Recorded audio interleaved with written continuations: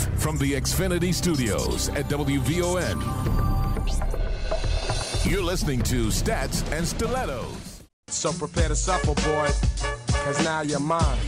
Gabbert with time, fires and it is picked off by Charles Tillman.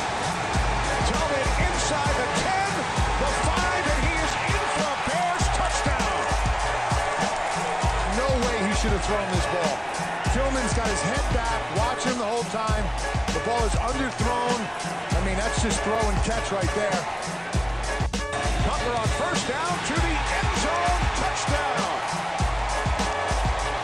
Alshon Jeffery.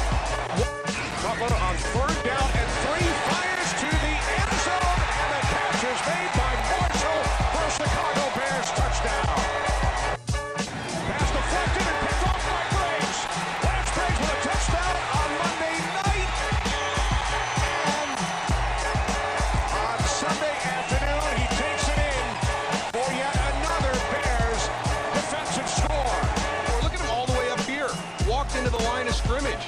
like he's blitzing.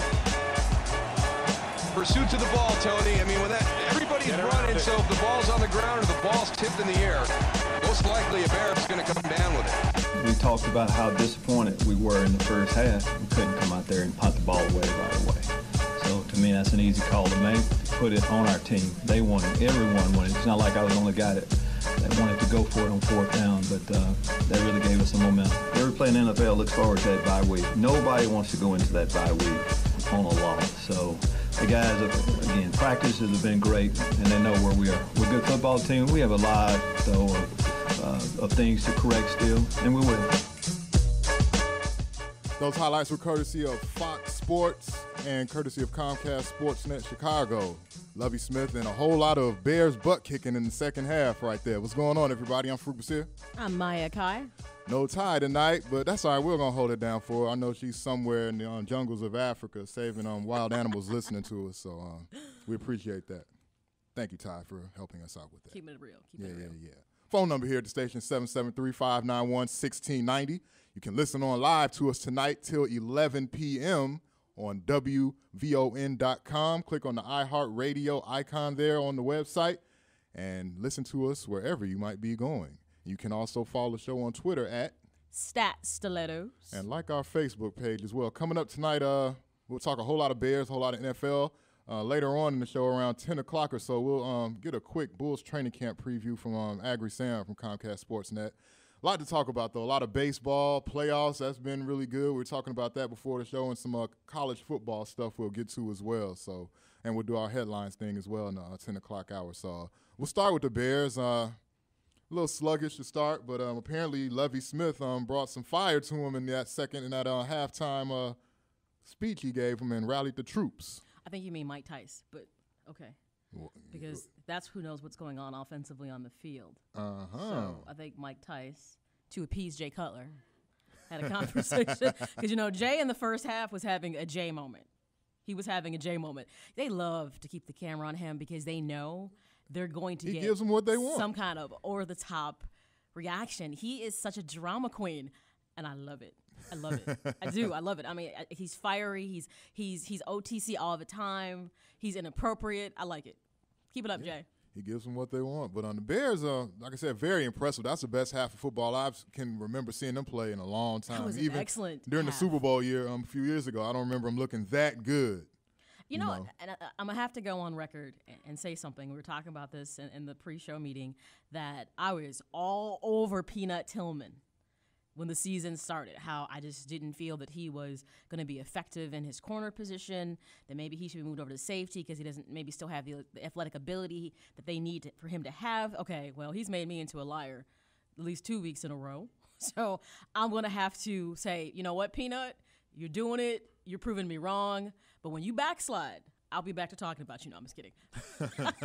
hey, he looked. You know, honestly, you haven't. When's the last time you've really seen this good of a, a performance from Peanut Tillman in like the last two years? Seriously. Two touchdowns in six days. I mean, you can't argue with that. But uh, everything is going right on that defense, and that was like the main thing coming into the season. Everybody was harping on the offense. The offense is going to be this and that, high flying. The offense is still lagging behind, even though they've looked better as the season's going on. They're nowhere near people thought where people thought they would be. But that defense, man, they aren't done by any stretch. They aren't washed up. The guys might be old in age, but they're still With doing age what they comes need to wisdom. do. So Uh-huh. what the, the the historic thing they did is that Briggs and Tillman make history by having back-to-back pick six. I mean, but I never questioned the Bears defense. I haven't. I mean, Tillman was the one part, and, and I was never really comfortable with the secondary. I do have to say that I feel that Conte has has fit into that mix well. Um, you mentioned earlier, you know, Jennings is not having, you know, the kind of game that he we got used to the last okay, couple though. weeks, but it He's doesn't okay. matter. I mean, not every week you're not going to come out and, and have a star performance. But overall, the defense has done everything that they need to do to give the opportunity for the offense to get on the field and to score points. And I think that's what's key. I think part of what the Bears are experiencing is because they now have what is considered to be this very high powered offense, there's this eagerness to use it, which I'm not saying that's wrong, but one of the things that I was talking about with Demonze in the pregame is that I want to see more two back sets. To me, they're not exploiting the running game the way that they need to.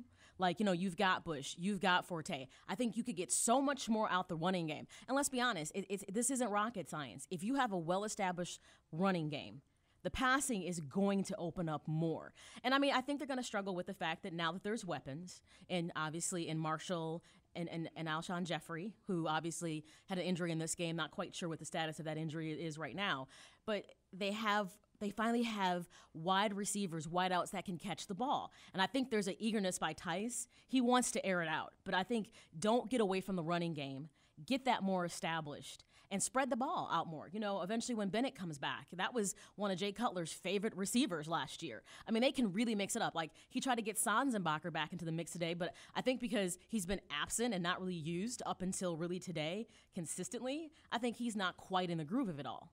So now I think they're struggling with how can we make this all fit together because we have all these talented components. I think that's going to be their biggest dilemma is how to find balance.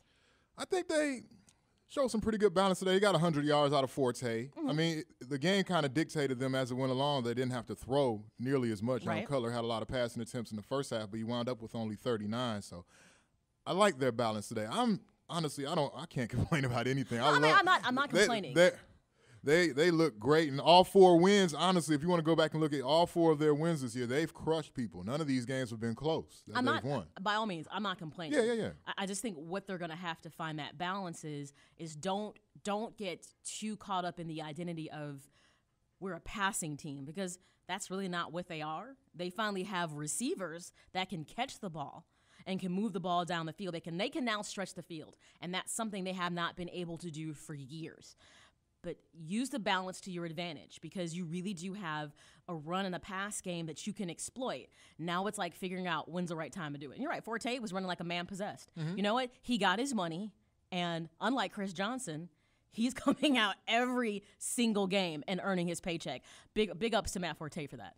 Brandon Marshall with the huge game today too. Twelve catches. They went right at him. 144 yards. And they, in that second half, everything kind of clicked. Like Marshall had about five or six um, receptions on that uh, 10 minute almost drive that they had where they got the field goal. And a lot of people were reacting on Twitter like, "Wow, all this for a field goal." to Bears. There's a little panic starting to come in.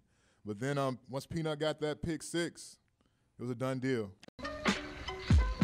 Hey, hit me with the stats. Of course, Stats and Stilettos, WVON 1690. Welcome back to Stats and Stilettos. You're on with me, Maya Kai and Farouk. We are holding it down because Ty is out. I don't know what, birthing polar bears. wow. Something fantastic. I know right now, wherever she is, she's listening. Like I'm gonna get you guys when I get back. Uh. Of course, like Farouk said, if you want to weigh in your thoughts on the Bears, you can call into the show 773-591-1690, as well as you can hit us up at Twitter at StatStilettos. We are gonna go ahead and jump into something that we have been doing. What? My gosh, for like the last several weeks since Yeah. the NFL season started around the league. We'll be doing that, which is moderated by the one and only Demonze, aka D, who gives you the scores and kind of throws at Farouk and I kind of what our thoughts are about games. So we definitely cover all the relevant games that happen Yeah, yeah, during the yeah. course of the day. Right. Even though Farouk and I are very, very focused on playoff baseball. Man, I, We may be heartbroken, but somehow we are all of a sudden falling in love with playoff baseball. But that's okay because we both are baseball people. That's why it's like that. So we're going to jump into around the league and you know update you on scores if you didn't happen to be able to check out all the goings on around the NFL. Give you some scores and stats and our wonderful professional analyst point of view on some things. So without further ado.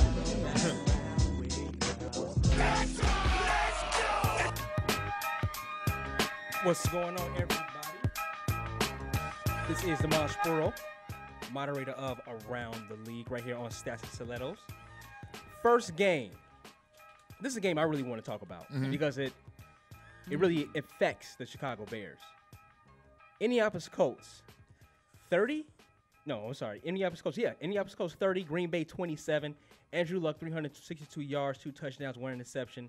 Aaron Rodgers did his thing, all right, 243, three touchdowns and interception. But Reggie Wayne, who saw this coming from Mr. Wayne? 212 yards and one touchdown, and one of probably the most, uh, one of the toughest touchdowns this season so far in that game winner.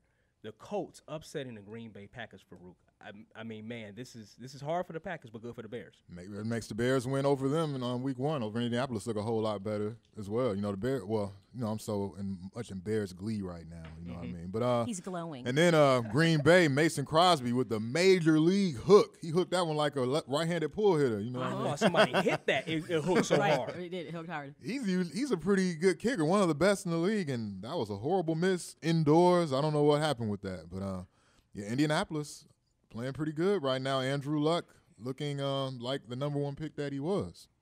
Very true. You know, especially with Indianapolis having obviously to deal with Pagano being out for the season, obviously dealing with cancer, you know, a, a big setback for the team. But it seems like obviously they came out to play in their focus, which is, you know, for I, I'll be honest, a part of me, I, I'm angry with the Colts because obviously they let Peyton Manning go. But I have to say, for what it's worth, Andrew Luck is looking like their next quarterback of the future. But look at some of the key stats in that game. First down. Now, if, if I just like read down these stats, you probably would put these in reverse. Green Bay had 18. The Colts had 29. They both had turnovers, but total yards 464 Colts to 356. And they also took charge of time of possession 35 minutes to 24. The Colts did everything right in that game. They did. And it ultimately came down to a field goal. Field goal. And plus, Green Bay, I, I can't believe I'm about to say this, but um, they're going to be totally one-dimensional without Cedric Benson if he's hurt for any extended Oh period of time. yeah, that's very true. Whoever would So- thought Ced- losing Cedric Benson? Yeah, would be that's what I such a mean. Hard, I mean, bad thing for your team. I can't believe I'm saying that. But you know, Cedric Benson actually had some good times when he was with the Bengals. He did. I mean, he just didn't do Yeah. well in Chicago. I, once again, I don't think he was a Lovie Smith favorite, hence his he did not do well. It was his attitude. Oh, maybe. entitled, not like that, man. entitled little Right. guy. It could be true. But he's moved on to other places and he's done well. He has. He has. All right. All right, next game. Stay in the NFC North. The Vikings, 30, Tennessee Titans, 7. Christian Ponder, 252 yards, two touchdowns, two interceptions. Interceptions. Uh, Percy Harvin with some of the plays of the year in this game. Eight receptions for 108 yards. He had one. He had the one touchdown, and he had one rushing touchdown. And Chris Johnson, uh, Maya brought this up earlier. 15 carries, 24 yards. You get that money, Maya, and you get a little fat. Wow. He's he's yet to Vikings- perform on any level since he got paid. It seems like Minnesota has uh, it just. I'll be honest. Starting at the season, I thought they were going to be at the bottom of the NFC North. You know, I was. I'm not. I'm not a Leslie Frazier fan. Even though I'm like Christian Ponder could potentially be that quarterback, but we won't know. Well, so far, he's showing up and starting to look like that quarterback. With them sitting at four and one, mm-hmm. tied for the top of the division with the Bears. Now, like we talked about, who would have thought that you'd be talking about Minnesota is potentially the contender in the NFC North? But they have a rough half after their bye week of teams they have to play. But so far, I'm not quite sure what they've managed to put together. But it's worked. And then once again, I mean, 433 yards. Time of possession might be one of the big conversations around the league. 33 minutes to 26. The teams that managed to have the ball more won their games. win. But like you said, Percy Harvin, beast game. And another thing with though, a lot, I think a lot of people didn't figure Adrian Peterson to be back this soon in the year, and um, I think he's contributing a lot to this um, surprising resurgence by the Vikings and uh, uh, playing the Tennessee Titans. Like you said, Chris Johnson. I don't know what happens to him. He he must be hiding some type of injury. I mean, is it? He's not this bad. This guy, this man has rushed for 2,000 yards in the season in the NFL. But he, he didn't have a good season last year either. I mean, this is is it, it points right back to the fact Maya said before, and I agree. When you got that money, and you look at Ryan Fitzpatrick up there in, in, in Buffalo, as soon as he got the money, man, it's been downhill for him. Kind of, and, and it's real sad to see. Too. I hate to go there with guys. I hate to go there with them. I, I, I really don't like to think that that's the reason why guys don't perform, especially when you have as big a year as Johnson had two years ago. Right. I hope it's not that. Let's just say that. I hope it's not a money thing where he doesn't feel like he has to do what he was doing anymore because he's paid. So Right. You got to get paid, but you got to perform too. Yeah, yeah. All right. Next game Atlanta 24, Washington 17. Matt Ryan 345 yards, two and two touchdowns and two interceptions. Tony Gonzalez going to the Wayback Machine, 13 catches, 123 yards, one touchdown. RG3 only had Robert Griffin III only had 95 yards, but he got knocked out of the, in the third quarter. Head concussion. knocked her. Uh, Now, RG3 squared. now Oh, man. listen, now listen. Since he was knocked out this game, and I believe Farouk told us in the, in the pregame, he didn't know where he was at and what was going He's- on. he was concussed, He was clearly. concussed. That Yeah. means he's not going to be in the next game. So Washington, this is a big, big, big injury, uh, Farouk, to Washington. Before I say anything else about this game, uh, Atlanta doing in the playoffs. You know that's the standard. You know opening for when Atlanta plays. I'm- I'm with you on that. doing the playoffs. Doing the playoffs. Doing the playoffs. But I second agree. of all, you know, yeah, you know, it was reported on Twitter through a lot of you know NFL writers and things, guys like that. That uh, yeah, he didn't know the score, didn't know where he was at. He was completely messed up, and uh, Kirk Cousins came in came into the game and uh, rallied the troops, so to speak. But yeah, they're gonna um, that's gonna be huge for them because they're probably the most entertaining team in the league right now with RG three with everything he was doing out there. Just in terms of fun to watch, they were that, in my opinion, anyway. So, but um, yeah, this is bad for them. I mean, here's the thing: we can't expect for RG3 to come in and I mean, yes, he is pretty much going to be the, the savior for them, but this is still his rookie year, so Mm-hmm. only so much can be accomplished. I mean, granted, Santana Moss had a good game. I'm surprised they're not getting more production out of Pierre Garcon. I mean, I felt like he really should be someone within their roster that would be a good fit with RG3, but it doesn't seem like they're getting production from him. Well, he was- he was hurt earlier, though. Yeah, he was hurt a little bit earlier. And And then had the even Evan big game in New Royster, to me, th- th- I think they're offensively having to find their way as well. So, granted, so Atlanta moves to 5 and 0, but it isn't like they squared off against a team that's they're struggling. The Redskins are struggling. But the hope is that they're going to be better than what you think they are right now. Mm-hmm. Yeah, well, hopefully, hopefully we see what happens. All right, next game, and this is going to hurt uh, the cougar over here across from us because her her her booby. No, what do you call what did you call last week? You booble? Yeah, Boobles? Yeah, boobles. Pat, uh, Pey- Peyton Manning didn't have uh, didn't have a, really a boo game. New England 31, Denver 21. Peyton Manning 345 yards, three touchdowns. He did his thing. Tom Brady 223 yards, one touchdown. But this is something that's huge. Stevan Ridley went ham on the Broncos uh, defense uh, today. One touchdown. Uh, forgot to get his uh, running yard. his yard. 151. 150, 151. But a very good game. And this is a question I, that throw you all, uh, uh, throw to you all. Are the patient, are the Patriots becoming a running team? Because before you didn't have this, it was it was mostly Tom Brady passing the ball around, and that was a quote unquote running game. But with really, Farouk, throw it to you first. Yeah, he's been having some big running rushing um output for them this year, but uh, they're more balanced no, now, no question, and that's something they've never been. You Exactly. know what I mean? So Right. I don't know necessarily think that they're quote a running team, but that balance that's going to make them a lot harder to defend. You know, what I mean, like the Giants, like if they had this type of balance in the Super Bowl last year, they probably would win that game. But the Giants, you know, they knew what was coming, and it was easy to easy to defend them. Now, um, Peyton Manning, every, we all know he's a great quarterback, but um, One of the greatest of all time. he's a lot of these numbers he's getting. He's having to come from twenty some odd points down. Yep. You know what I mean with this team. And um, today they were in this game. They had a chance to get within three late. McGahee with his second fumble there when they were going in for the score to to make it thirty one to twenty eight. He had another big fumble earlier in this game. So uh, t- tough for Peyton when he um isn't going to the um to war with the weapons that he had in Indianapolis. And what we're talking about, what happened to the defense that was in Denver last Yes. year What when happened? Tebow was there? What happened? It's like there's there seems to be a defensive slump, and it's just not coming together. I mean, for what it's worth, I mean, granted, first year in Denver. It's gonna have to gel. You were, uh, the, the thought was you were hoping that Peyton Manning would step in, pick up pretty much where they left off, and keep on moving. But obviously, there's some other things that are just not gelling. But as long as he's not hurt, I'm okay. As long as he's not hurt. As long as he's not hurt. All right, all right. As you said last week, one hit can mean you know in anybody. So Mhm. Peyton, don't get hurt for your boo over here. All right, Pittsburgh 16, Philadelphia 14. Ben Roethlisberger two, two, 207 yards. Uh, Mendenhall 14 carries, 81 yards for a touchdown. Michael Vick 175 yards, two touchdowns, but he had two fumbles in this game, which was not good. And you're starting to see that a lot now with Philadelphia with these with these fumbles coming up, and offensive line not really protecting uh, Michael Vick, Maya. So another game that was close, but Pittsburgh was able to pull that one out. Well, here's the thing. At least it's not one of those Philadelphia games where, in spite of it all, Philadelphia walks away with the win because they had a couple games like mm-hmm. that. You're like, mm-hmm. how are they winning these games? I mean, granted, it's Pittsburgh. To me, this isn't anything. I mean, you're talking about 16 to 14, so it wasn't like anything magical happened offensively for either team, one way or the other. You know, I think it, this may honestly be Andy Reid's last year in Philly. It's highly probable because it just seems like for the weapons that they have, or maybe DeSean Jackson is focusing too much on his hobby of rapping. You think that's what it is? 'Cause You, you didn't, you- I didn't know about that one. Yeah, it's like his uh, kind of like his how he finds his zen and his release is he's working on a rap career. So maybe he's focusing too much on his lyrics and not on I don't know. Not that it's his fault because DeSean Jackson does pretty much he does Yeah, well every week. But I'm just saying.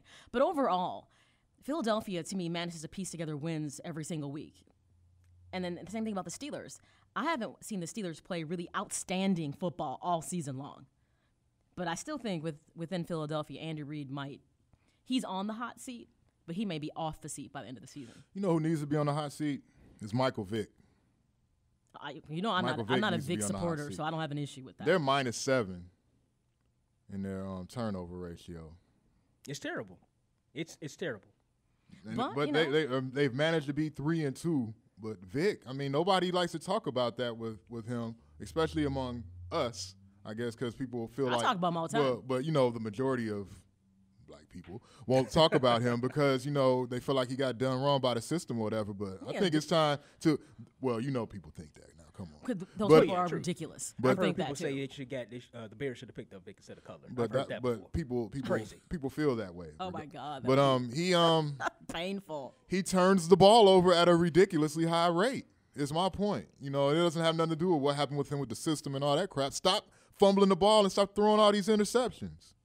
He's holding them back because they have all these other great players, weapons at running back and receiver, pretty good defense that kept him in this game while he's throwing the ball away and fumbling every dang, dang play. And, and there's something that's obviously going on with Vick because you know it seemed like last year he was developing into a pocket passer finally mm-hmm. within the Eagles system. It seemed like he was finding that balance. He wasn't always running. Because understand this: the minute he runs, the play breaks down.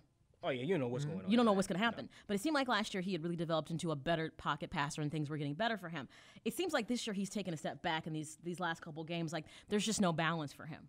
And I'm not sure what they're struggling with or what's going on. I think it, I'm not sure if he's trying to revert back to I'm Michael Vick and this is what I do. But that becomes a detriment to the team if that's what he's thinking. Could he be reverting back to the Michael Vick because the offensive line does not protect him either? He's getting yeah, rocked that a line lot. isn't. They don't So have a good offensive line. life. They don't have a good offensive line. They don't. But a Jay lot- Cutler finds balance, and his line does not always give him what he needs either. I mean, you know, that's where obviously having the having that athletic ability to be able to scramble out the pocket and to get yardage is great, but you can't keep doing that every single time. And nobody wants to hear that excuse when it comes to Cutler.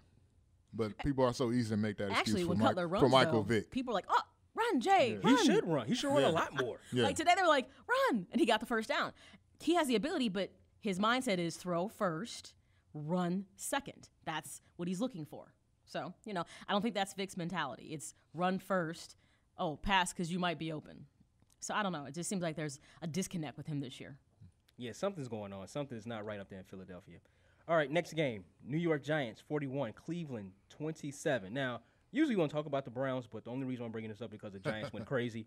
Eli Manning 259 yards, 3 touchdowns, 1 interception. Ahmad Bradshaw 30 rushes, 200 yards. Wow, 1 touchdown. Thank you for the fantasy points. Victor Cruz 5 catches, 50 yards for 3 touchdowns. Thank you for the fantasy points. Wow, you have both of them? I got both of them. Wow, you Wow. won this week. Your I- week yes, is I over. did. Yeah, I, it was over about mm, one o'clock. Farouk, huge, huge win. The Giants usually fly up under the radar, Mm-hmm. but now they are flying. They looking really, really good, and Eli Manning is looking like that top-rated quarterback. Yes, he is, and it doesn't help. I mean, it doesn't hurt playing Cleveland. You But know, you know, here's- but um, Trent Richardson, uh, they you can run Yeah, on the can run. Giants. You, You can, can. run on the Giants, and if they find they come up against a team that's committed to doing that with a quarterback who you know knows what color his receivers are wearing, they can be beat. 17 yard, 17 rushes, 81 yards, you know, one touchdown. an Mm-hmm. upside to this for for Cleveland is they actually did put some points on the board, 27 of them. Yeah. Two touch. I mean, that's a big deal for Cleveland because they're just not really scoring. So, granted, they lost, but you know they're gonna have 0 and 5. I'm just And they started off hot in this game. 'Cause I was Yeah. watching them like, oh, They were wow. 14 It was zip. up 14 nothing, Yeah. and all of a sudden, the Giants showed up. Yeah. And you're right, early consistency from the Giants, and that's not something that generally happens with the Giants. It's like you're coming down to the the end of the season, and you know the coach is professing if it doesn't happen, I'm going to, you know, I'll, I'll I'll resign. It's just interesting that you know they they are finding consistency early in the season, and that part's important. Next game, Seattle 16, Carolina 12. Russell Wilson 221 yards, one touchdown, two interceptions. The biggest story I say with this one has to be Cam Newton. 141 yards, no touchdowns, no interceptions. Looked terrible. Uh, the last play going in, uh, trying to tie up the game or go for the lead, I, I can't remember, but he just threw the ball basically just down at the feet of the receiver. But he had a little, gave himself a little humble pie About time. in the press conference, Farouk. He actually stepped up and, you know, basically said, called himself out. Like, listen, I have not been playing well. You know what's Yeah. interesting? I, I'm sure that Cam Newton is probably like, these people cannot figure out what they really want from me. Because, you know, when he came into the league, it was like, all hail Cam. He's not being given the just due he should be given, yada, yada, yada. And now people are like, you know, flipping the switch on him. They're like, well, Cam, you're not humble enough. You're not this. People make up your mind. I've just never seen people. It's like people are like bipolar. Like one moment they like want him to be this, and now he's got to be something else. He's probably confused at this point. Yet his performance is poor. That part is just he needs to work on that. Yeah, I saw that last um, pass he threw. It was like he was trying to ground the ball intentionally the way he threw it or something. He, he must have lost track of what down it was or something. The way that I pass was thrown, it, that was some weird stuff. But uh, yeah, like I mean, something you were saying you know, earlier before we came on the air is you know they have tape on this guy now. It's really what it comes down to. You know, uh, he's not being able to be, he's not being allowed to do certain things that he was doing last year. You know, his mobility is being limited by the defenses. It's not by any type of injury or anything like that. They're really on him. And um, Seattle, their quarterback situation, um, I think their quarterback saved his job today, Russell Wilson, because even though he shouldn't have been starting in the first place, Matt Flynn, you signed him all, all that money and uh, you don't play him. Russell Wilson kind of salvaged his job today, and uh, I think Seattle would be a lot better team record wise, and probably talked about as, as a Super Bowl contender if Flynn would have started from the gate. They're three and two. That was a decision that nobody understood. Yeah. It was like you brought him here, you paid him the money. Why is he not the starter? They that do- didn't make any sense. They do everything else so well, but their quarterback situation kind of keeps the games closer than they need to be, and is, you know, kind of cost them in a couple of games, particularly that first game against um, Arizona that they played this year. so what would it, what would it take for Pete Carroll to pull them? To Well, put Matt first, Flynn? they need to get rid of that fluorescent green as part of their uniform and get something else. Because I think that's distracting for everybody. And it's ugly. They have ugly uniforms. That's a woman's perspective. I'm Yeah. sorry. It is. Say Yeah, I'm- not hideous. I'm looking at this play again with, with the Cam Newton play, and Who was he throwing the ball to? Honestly, No, no. He don't know who he's the throwing the Nike to. switched on somebody's shoes. he, it looked like it was that looked like Greg Olsen right there, who's trying to get it to, but it bounced uh, about four or five feet in front of him. that was It looked a- like Greg Olsen. that was that was a Yeah. what a 58 footer. That's what Hawk was saying. That was about 58 feet. Uh huh. Not quite 60. You know, when things go bad, like things are just going bad for Cam Newton. He's just, you know, he is he is this year's Tim Tebow. We want to now hate you. I don't know if I think he'll recover. him, Yeah, nobody. I think he will too, but I think he's just like, wow, all the all the pressure and all the you know just all the dislike and the negativity I'm getting. I wasn't getting this last year. I was the darling last year. It's not the darling this year. Mm. Yeah, and then like I said, my whole thing with him is don't say it was your team. It was everything you did wrong when you lose by 30 points. The other team had a lot to do with that. Well, hey, Yeah, I like, seen you. I seen you. You you hate that when people say that. well, he's Yeah. like, look, I was Yeah. prepared to throw the ball. They weren't where they were supposed to be. So now you want to be mad at me about it? Yeah. Man. All right. Be the devil's advocate on that. Okay, just a roundup around the league. Miami 17, Cincinnati 13. And stop me if, if you all want to hop into one. San Francisco 45, Buffalo 3. Maya? hey, Oh, God, I knew that was coming. Well, they won. Um, their two, last two combined scores have been 79 to three. They have opened up the can of whoop. Yeah, they have. on the AFC East. Yeah, two AFC East teams. Told you that Minnesota loss, that was a stumble. And I'm sure they were like, trust me. Harbaugh was like, I cannot believe, I'm sure in some conceited and arrogant way, he said, I cannot believe we just lost the Minnesota Vikings. This better never happen again. You're right at the ship, and they are flowing quite nicely right now. They are making up for it. Yes, they are. Baltimore nine, KC six. Very dom- defensive game, if you want to say. Well, one thing I want to say about this is, um, I think so far Jamaal Charles has been the best running back in the NFL so far this year. And you're right. And, and, and So far. obviously their record doesn't reflect Yeah. Mm-hmm. the work he has put in. I agree with you. He's been very productive. He has. Uh, St. Louis. Uh, this is past. This is Thursday night. St. Louis 17, Arizona three. Um, we have San Diego versus New Orleans right now. I get you that score in a second. And uh, up, up, upcoming Monday night is going to be Houston versus the New York Jets. Yeah. And that is around the league. All right, all right, all right. Now we're D. No problem. I'm one of those people you were talking about, but he said he has him at seven. So But you know what? But last week, did we, you and D pretty much were like saying, once we, we stepped through, we, we looked at what was going on in the East, and we said, based on what teams were kind of higher up, the Pacers, 76ers, obviously Miami, Boston, that the Bulls, when you start talking about the likes of the Timberwolves and other teams, seem like they could be a seven or eight seed. Mm-hmm. I mean, I think we, I think at that point that's realistic, but and that's probably only because there's only so many teams that make the playoffs, and the bottom part of the division is pretty crappy. But you know, he brought some good points in. Like you know, there are a lot of people that are on this team right now that.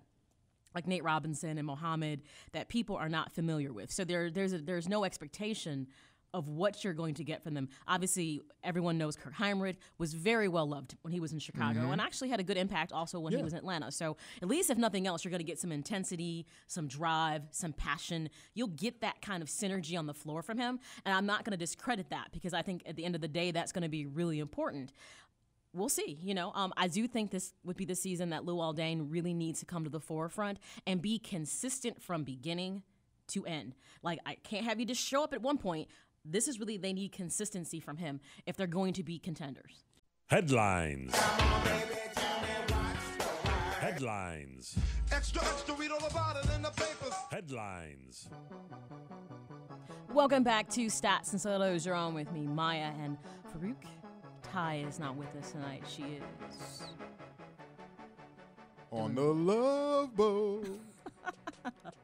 Soon we'll be making another run. That's where she's at. That's a really old reference right there. Right? Okay. Yeah. That's a very old reference. Man. Feel free to chime in your thoughts to the show 773 591 1690, as well as you can tweet any comments you have at, at Stats Stilettos. Of course, if you want to post something to the Facebook page, you can do so as well. That's Stats A and D Stilettos. So different ways you can interact with the show.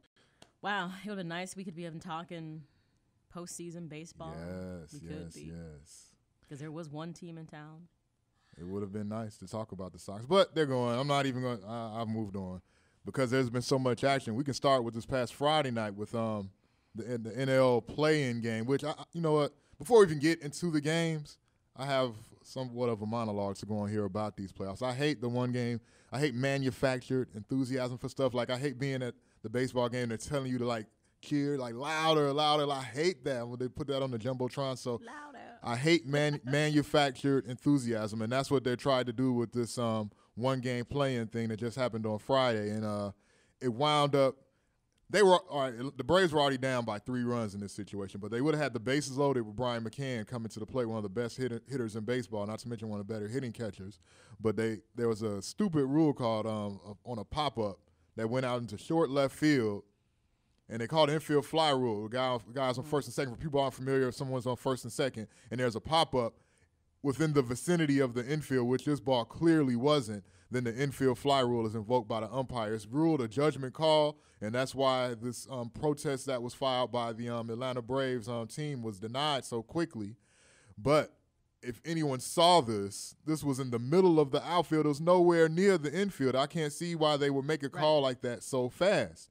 And it was a major turning point. But like I said, they, the Atlanta Braves were already down three runs. So it's not necessarily saying that they were going to come back and win this game, but it was still pretty huge. It was only the bottom of the eighth inning, and it was a definite rally killer for the Braves. So I hate the one game play in. And I also hate the way they have these um, first round of NA, NLDSs or division series, I should say, set up where the team with the lesser record has the first two games in their building, and then the last three are on the home team, the better team's records grounds. I understand that they're trying to maybe save and travel or whatever their reasoning or logic is behind this, but I feel like you earned the right to have those first two games in your building and then just go 2 2 1 or go to a seven game series for the NLDS. Why not? You're expanding everything else. Instead of adding this extra play in game, I'd eliminate that playoff team altogether, that second wild card, and just go two seven round series, seven game series, excuse me, for the first and second round. You okay now? Yeah, I'm, I'm a little better. But then go if you want to do that, go two three two instead of two two one one one like that. Go two three two. Do it like the NBA Finals and just have two three two with the team with the better record getting the advantage. And then of course the World Series. I don't want to get on that with the whole All Star thing. Let the team with the better record. How about that? Let them have the home field advantage for the World Series. Wow. Well, so because you know, Major League Baseball is trying to breathe life manufacture enthusiasm Yeah. into the World Series, which goes back to what I was saying a few minutes ago. So so they're they're they're trying their best to keep it relevant. yeah. You know, so that's why that. it, it was always relevant. They didn't need to do it. But all right, I'm done. Now I feel better. I got You that out of my system, better? so we can talk about the games now. And uh, like I said uh, before the break, we were watching uh, we're watching San Francisco and uh, Cincinnati in the studio. The series, what I personally think is going to be the most entertaining because both of these teams are kind of evenly matched. Cincinnati has a little better uh, offense, but they both have some pretty good pitching staff. Cincinnati has a great bullpen, and right now they're just really, really playing well. Again, they're already up one game to nothing in the series, and they lead game two here in the fifth inning, four to nothing. So uh, San Francisco had one of their better pitchers after Matt Cain pitched pretty good yesterday. They had um, Ma- Madison Bumgarner on the mound today, and obviously he didn't. Fa- he's not faring that well. His team already down four to nothing in the fifth inning. So uh, Dusty's getting it done. yeah, we were talking about him last week done. too. And I am I'm not mad. You know, I, the, the Reds have looked good. I mean, hey, they're prepared. They're playing good baseball. Like I said, I didn't think I would be this interested in playoff baseball, but so far it has been quite intriguing. Come back to the Ron Washington because I yeah, want to put this question out there for listeners because I'm curious. People always craft different answers to stuff, Mm-hmm. and obviously. When pregame we talked about Yeah. Mm-hmm. what was the bigger collapse of the season, the White Sox or the Rangers? And I was like, even though I'm a White Sox fan, absolutely it was the Rangers because of the expectation that they should have done better than Right. what they did. Right. So Farouk brought into, well, do you think you think that Right, right. Well, this is pretty much you know how when um, the Texas Rangers were the defending two-time American League um, champions. They have the only African American manager in baseball, and Ron Washington. Dusty? Oh, Dusty, Dusty, one of the other like ones. that? Well, you know he's been sick, so you know he kind of disappeared. But he's he back- just he's came. back, he's though. back He's now. back. But the only in the American League. He's one of two. Okay, okay. Ron Washington. Okay. He's one of two. I stand corrected. But bottom line, the defending two-time American League champions, they were running away with the American League West this year on their way to another playoff appearance. And in the last couple of weeks of the season, a lot due to you know their poor play, but a lot due to the Oakland A's red hot finish as well. Now you know that let's not leave that out. craziness. Can I tell you But- that was that was like soap opera crazy how that ended. But yeah, you know, so they wound up collapsing and they were forced to play in a one game playoff this past Friday night against the Orioles, in which they lost. Mm-hmm. So they stumbled to the finish line. They have major expectations down there for this team. A lot of high priced, high talented players down there. Somebody's going to take the fall for this. Now, Josh Hamilton is a free agent. He'll be able to just walk off into the sunset and get a big old paycheck Okay. for this. So so it won't be Are him they going to let him do that though? but they can do it and no they won't have to worry about any repercussions from that because they were booing him at the end of the year they were booing josh hamilton in that playoff game friday night so he could kind of skate free but somebody's going to take the fall for them not finishing the way they they were in So- first place for 177 games so my question to all of you is would you be upset if this man lost his job considering the success that they've had the last three years, even counting this year? They're a very successful team. They won over 90 games. So would that be something where you would be in an uprage about if a guy like Ron Washington got fired? Me personally, I wouldn't be surprised at all. But strictly, I wouldn't be surprised because of his skin color, seeing that I feel like he would be made a scapegoat in this situation, whereas, you know, other managers probably would not be, you know, made that, particularly guys with bigger names, or like I said, just honestly, guys with different skin colors in this situation. So give us your thoughts. 773 773 591 1690 or at Stat Stilettos. Just curious. He- see, here's the thing. For the Rangers, it's almost, if they want to get rid of him, it's almost like the perfect opportunity. up on they missed the first one of opportunity when he was snorting coke, which he might be doing right now because he's nervous. I'm just saying. Recovery Radio, they got you. Sunday nights at 8. Sunday, hey, Recovery Radio, tune in. Ryan watching, I'm just kidding. no. Seriously, no, no. I'm serious. I mean, this has got to be a lot of pressure for him. Yeah. But yeah. they kept him when obviously he had the drug issue, kept him on board, which made the Rangers look great. Yeah, because that was after their first World Series appearance, Right. so it would have looked really bad to fire man, him the then. man had a down payment. You, know, Yeah. you, you know, you cut him loose. But now here's a chance that if they really feel he isn't the right fit, here's the next window of opportunity. And given that Boston has also cut Bobby Valentine, it kind of neutralizes the race conversation just a little bit. Because Mm-hmm. you could be like, well, hey, as a team, they have a right to decide if someone's a good fit or not. Because Mm-hmm. look, Boston cut Valentine after one one season. So if they really want to get rid of him, now's the time. Is it racially motivated? That's a toughie. Yeah, That's that's a, that's yeah. a toughie. I mean, even though I think he deserves more than one god awful season, and you're right, missed a big opportunity to be in the playoffs. I, I think he's shown value. So I don't know if it is racially motivated. I think it would be. Well, they wouldn't say that, but it, it's, it's perfect. Of course, they wouldn't. but I that. think it would definitely be, you know, racially motivated. So, um, and that's a shame that we still have to think that I, that I still think that. that that was the first thing that came to my mind when they lost that game Friday night. Is they're gonna fire this brother? See, I. I put it on Twitter. know- I'm like, you I- know I- my theory. I'm like, fire everybody. I don't care if they play it. Fire them. but that was I, I put I put it on I put it you're on not Twitter. Winning, if you're not winning, I'm like, fire them. That's me. I don't. I don't care. They could be blue. I don't care. But I, I put it out there Friday night during the game. I'm like, for his sake, I hope they win because they're gonna fire brother man. They're gonna look for somebody, and it's not fair. I'm not saying it's fair at all, but in all situations like this, there is some type of scapegoat, and I wouldn't be surprised if it's him. Can I give props to our special assistant producer tonight, Kalia? Thank you for helping me. He wrote a lot of good stuff down for me that I actually used during the show. So Right. She's been awesome. yeah, she's my daughter. I appreciate her help tonight, She's been Pretty keeping good. Farouk on his toes. Yeah. Like, come on, come on. Keeping me from cursing in the uh, breaks. I have stuff. to say, right. Kept, she kept me on my toes. Like, ooh, there's a child in the room.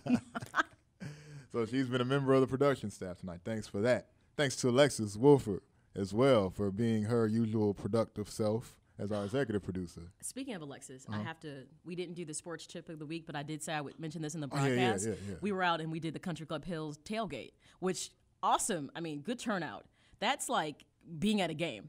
So all the men were like trying to mac down Alexis because she's like real tall and she's got like this big hair going. Yeah, they're macking because of, cause of, cause of her hair. Yeah, right. yeah, I mean, yeah. and she's tall, like, you know, cool drink of water, right? So all the men are trying to mac her down, um, especially women. If you're looking for something, there was a lot of men there. Far more men than there were women. So a guy's like, hey, big sexy. Hey, fellas, she might be tall, but calling her big sexy, not cute. And then the guy's like, I got a jacket for you. It's like a, it's a 2XL. I was like, dude, 2XL to a woman is big, and she does not wear a 2XL. I mean, just everything someone could say wrong, this guy kept saying it to Alexis.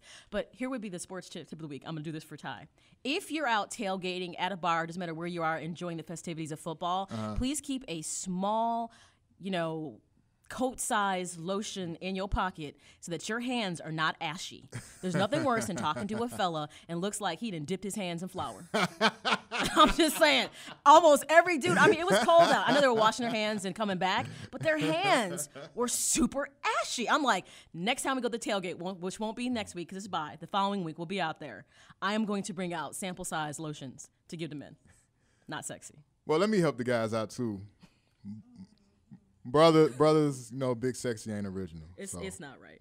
It's let- not let- right. let- we we all as men need to come up with something better than big sexy. Yeah, I mean, it's, it's- know. yeah, just big. The word it's the word the word big to a woman is not flattering, even if she is big. It's like, what did you just say? Big? The word sexy just fell off because you Right, said, you said big. big. So, hey, there All it right, is. back Thank- to your Yeah, yeah, yeah. Alexis, producer. Tamia, producer. Malcolm, producer. Demonze, man, all everything. Camera, around the league, everything. Ty, wherever you're at. Thank you to you. Thank you to Kalia. Say goodnight, Kalia. Make sure everybody you follow us on Twitter, Stats Stilettos. Good night. Like the Facebook page. Oh, do it again. Good night. Like the Facebook page, Stats and Stilettos, and make sure you listen to our podcast, which Demonze does as well. That airs every Wednesday at www.blogtalkradio backslash stats and D stilettos. You can always listen to the podcast. They're also available in the iTunes store as well. All right, everybody. Check out next week.